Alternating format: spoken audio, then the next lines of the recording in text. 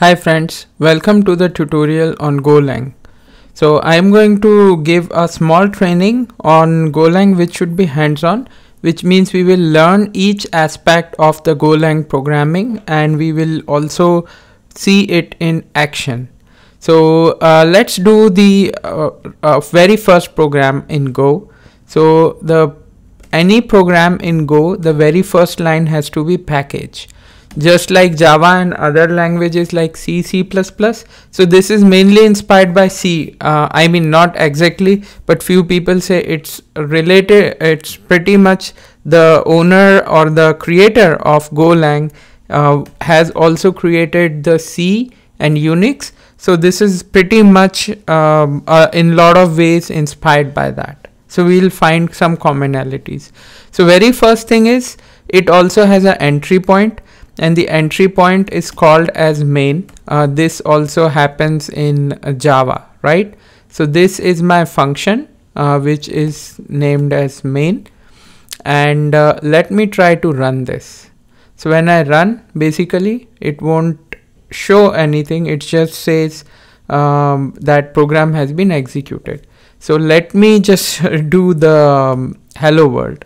So FMT is a package which provides the function which is called as println. So we will write our first program called as hello world. Let's run this. So it goes here. Now we will learn uh, different things. So before I do that, I also want to tell you, you can also uh, do same thing with the command prompt like running. I am using IDEA IntelliJ uh, which helps um, uh, which is called as IDE integrated development environment.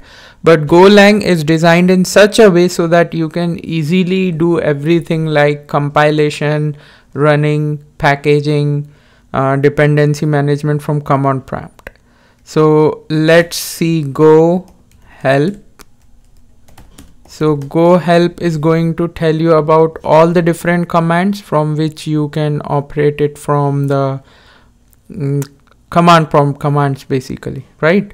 So very first which I want to tell you is go run and then you have to give the file name. So which directory we are in right now. So let's go here and say go run main.go and this would execute uh, your uh, file uh, and then this will run the output. Same way you can say go build and you can either give the file name or you can give uh, star.go and things like that. So now you do so you get a build. This red color guy is the build. So you can just um, this is executable. So once you do this this will run uh, so I'll tell you later in tutorial that if you have multiple uh, files you could also go with uh, go build and then just say star dot go. So all the files would be part of build and they would be part of the main and then you can just run a main just like a exe like a executable file. So let's go ahead and then let's try to understand how the values in the go are being used. So very first thing after hello world you would go with fmt.println now please take care that uh, don't do a mistake of uh, doing small println because uh, anything which starts with capital is accessed outside the package. So you're importing a package called as format like fmt uh, if you do small p it doesn't work. This is case sensitive. So uh, any uh, method which is which starts with capital p can be accessed outside that package. So now let's go with println so we will see string concatenation. What does that mean? Is i have any string we can also define uh, through data types and can concatenate but let's say simple uh, i and then you say love and then you can have any variable you can do anything but I will say my mom. And let's run this quickly. So you see here uh, there is uh, no gap right? So I might have to do a gap or I could also append the empty gap over here. This would also work. See here now it's I love my mom. So this is called as the string concatenation. Now let's see inside the print block if we can also do some math so if I am trying to say 1 plus 2, would it allow? So yes, it does. You could also do the multiplications. So let's make it a little, little bit challenging because 1 cross 2 is very simple even for computer. And can I write strings and other things mul uh, multiple multi pli multiplication test. So what we saw here is um, once you do println by doing comma you could uh, pass any arguments and they won't create problem. The people from python might see that you have to cast it in str like the string and then you have to uh, write everything. Here you can do fmt.println so if you will see here then you could uh, pass any number of arguments like it's none argument to variable argument like how how many number you want here you could do that.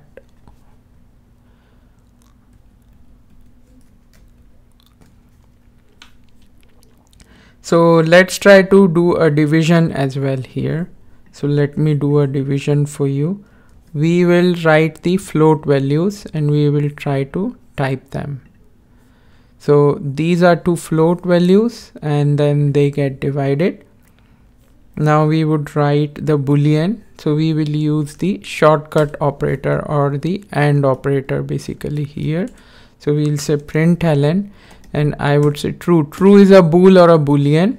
So I would go with that and then there is AND operator. So this is AND I will say false. So let's see how would it take it. Sorry about the spelling error. So this would of course uh, write false here and then you could also make it as the OR operator so this would make it true any value in these uh, is if it is true then it would go true now let's go with the inversion so if I have the value of true and I wanna invert it I could also do that here.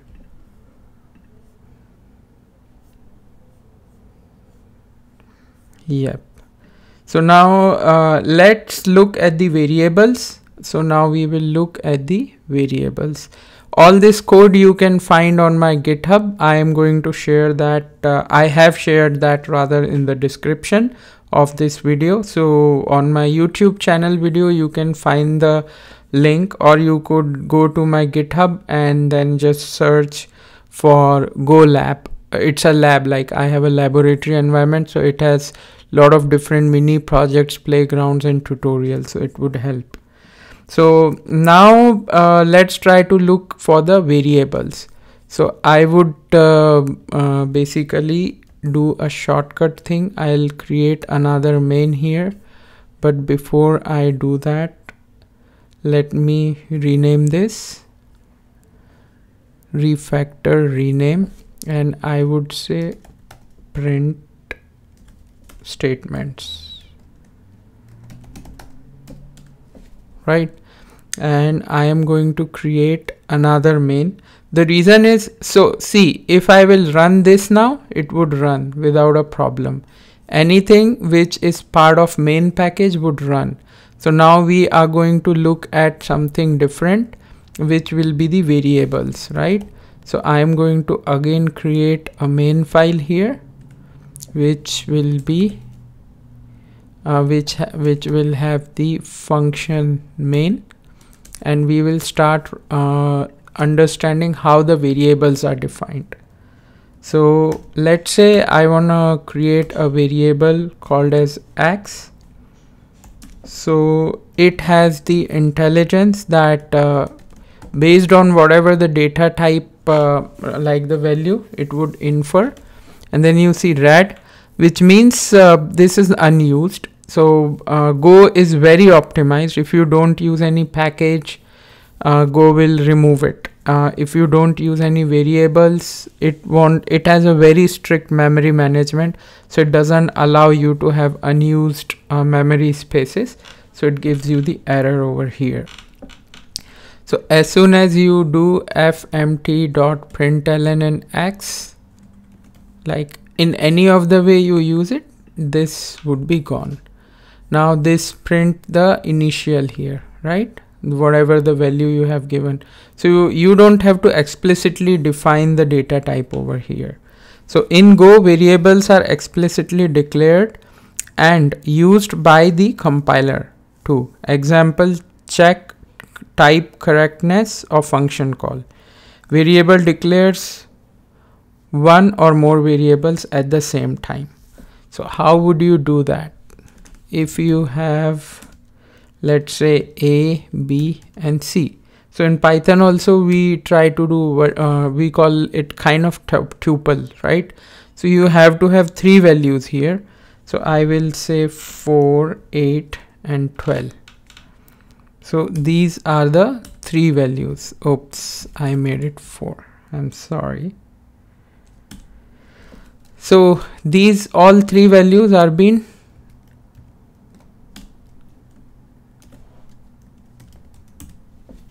assigned basically. So now I have to print them. So when I print it would look like this.